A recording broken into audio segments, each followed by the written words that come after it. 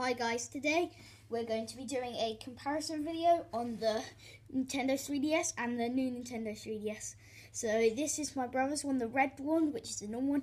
This is my one, which is the black one, which is the newer version. So the first thing you're probably going to see is on here, it's got like the color, just red. So if like that was black, that would be black. The buttons would there would be black. This one, it's got color buttons. That's only for the normal 3DS.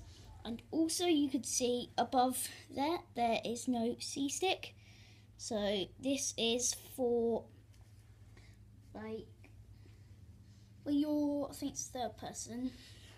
Like behind the character you can change the views like things like on Zelda games and stuff. And Monster Hunter I think. And also the start and select have, have been moved back here, just like the old, just like the DSi. And then the home button has got like just the homes thing now, rather than saying home next to it. And the power button it is there on the old 3DS, and on this one, it's actually down there, there.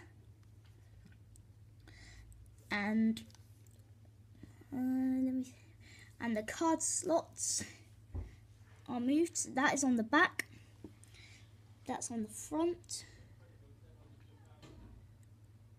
And the stylus slot has also been moved to the bottom just there. And the headphone slot just there.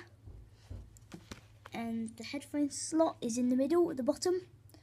The stylus slot is at the back. And your charger slot is there for the old one and then for the new one, it's in the middle. And also it's got the two new buttons, ZL and ZR there. And this, and the old DS hasn't. Also the 3D is more stable on the new DS. So now we're going to do a quick power power up test. So I'm going to have to do that just for this test. So I'm going to press them exactly the same time. So Isaac's just run out of charge a bit. So it's a lot quicker than the old one.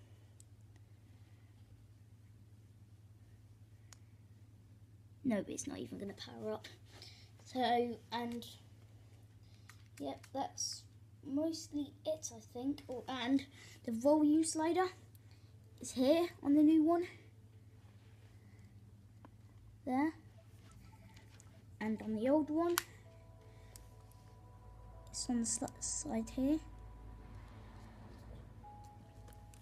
And I think that is mostly it. Um, yeah, I think that's it, guys. So this is the end of the video now, so thank you very much for watching, and I'll see you in the next video. Bye!